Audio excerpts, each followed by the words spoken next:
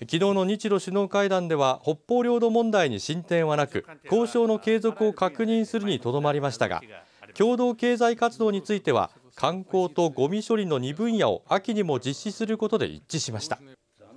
元島民は領土問題に進展がなく残念とした上で共同経済活動は領土問題の解決につながると前向きです。一歩前進かなと。人から物資そういう移動そういう船はね当然国でねやっぱり用意して用意してこの共同経済活動をね、うん、スピード感を持ってすると。